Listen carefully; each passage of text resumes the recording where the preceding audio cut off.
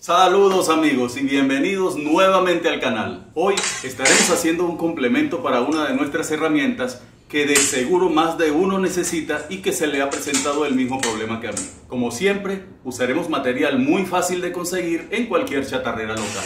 Pero antes que te vayas al final del video a ver qué es, quisiera decirte algo.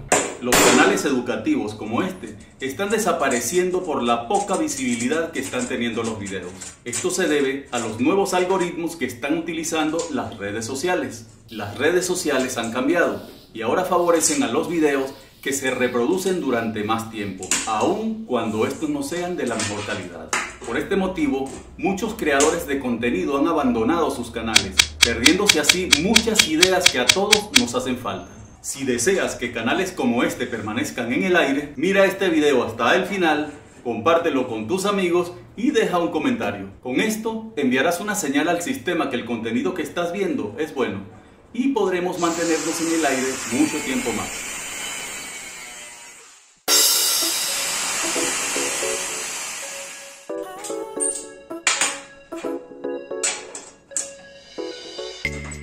Cada uno de los problemas que se nos presentan en el trabajo tienen una solución sencilla.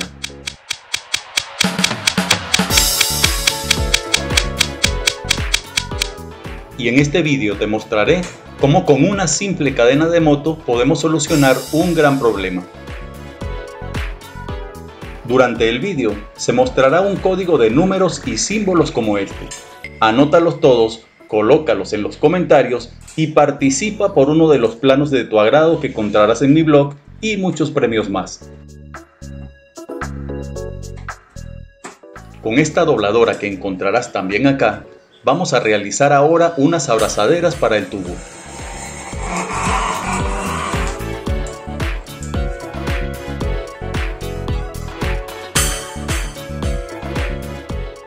Soldamos en ella para cerrarla una tuerca de un cuarto de pulgada.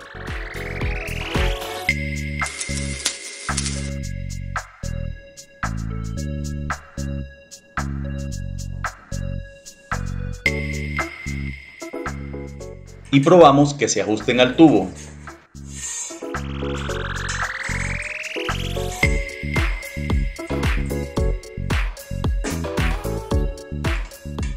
Haremos ahora abrazaderas que se ajusten por fuera a las anteriores.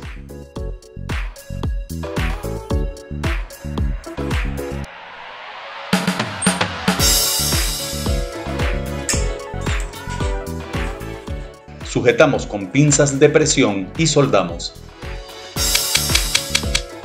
Las abrazaderas deberían quedarnos de esta forma. Esta será la base que sujetará la pieza con la cadena.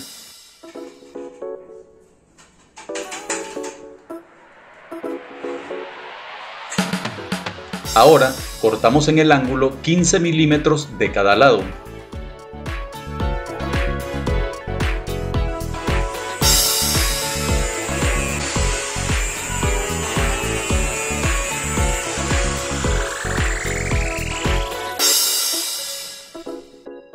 La colocamos en su lugar y probamos que gire libremente. En una lámina de 6 milímetros haremos ahora varias piezas. Solo tienes que hacer captura de pantalla para copiar cada una.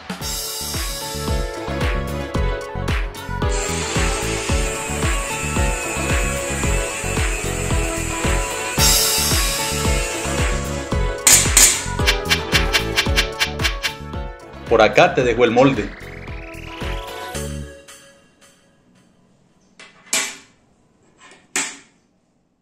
Y uniremos cada pieza como te estoy mostrando. Si eres nuevo en el canal, no olvides suscribirte y activar la campanita de notificaciones.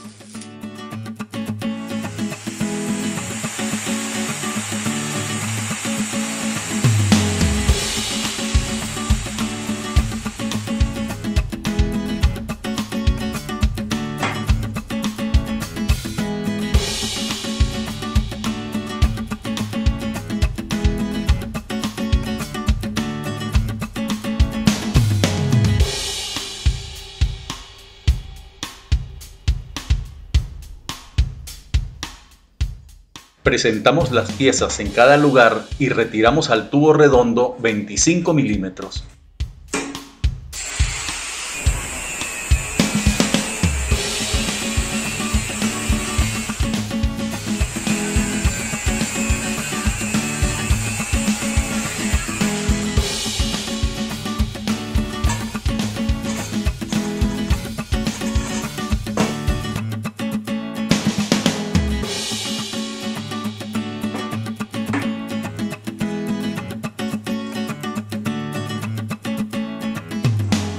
Ahora sí, unimos todo con soldadura.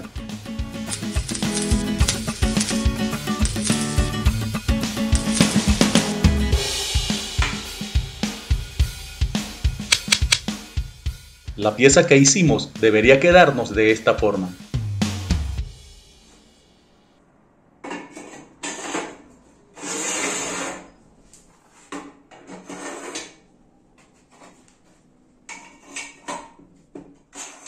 Ahora conseguiremos un engranaje de los usados en los portones eléctricos.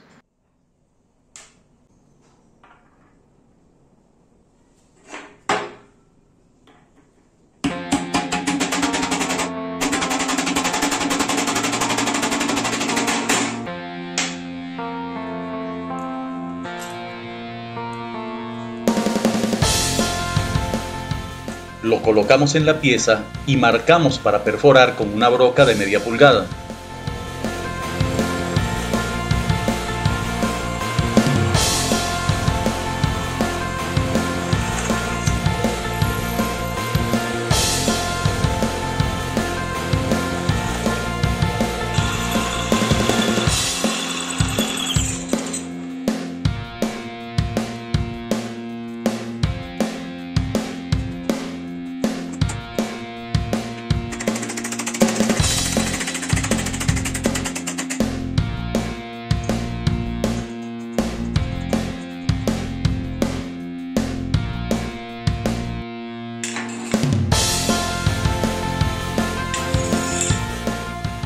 Quitamos el rodamiento al engranaje para soldar el tubo sin que se dañe este.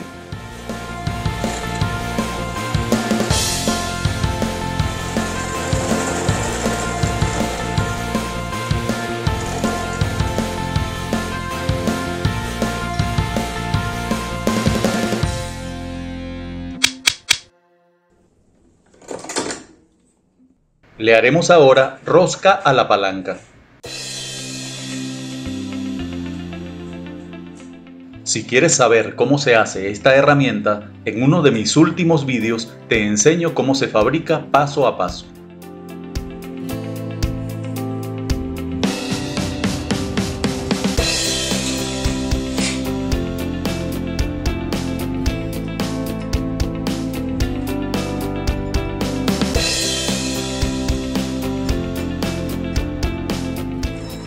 Usando la misma lámina de 6 milímetros, cortaremos las siguientes piezas.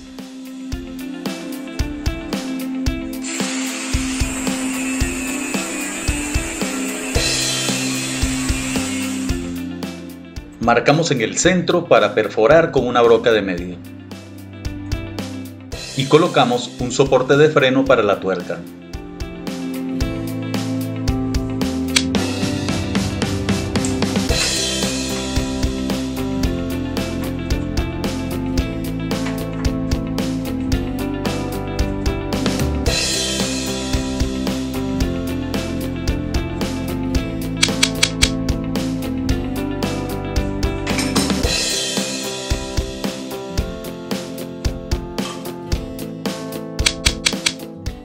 Ahora vamos a realizar el pasador de cierre.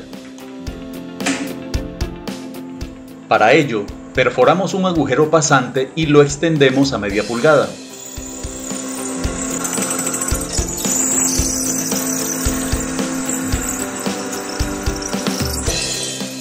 Un tornillo grado 8 de dureza de 4 pulgadas de largo y media pulgada de grosor nos servirá para hacer el pasador. Y con un trozo de tubo terminaremos esta pieza.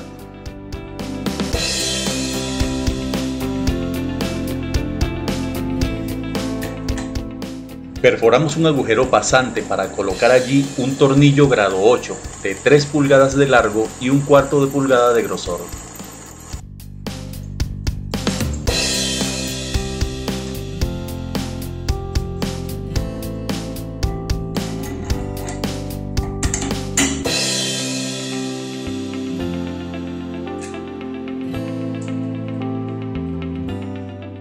Retiramos ahora el taladro de banco de su base y también el soporte de la prensa.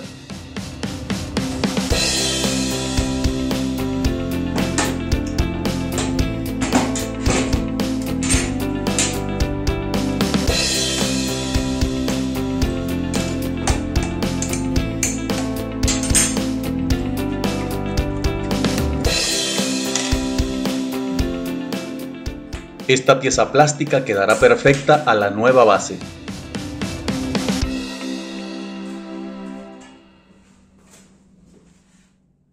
Cortamos la base del taladro dejando 50 centímetros desde el piso.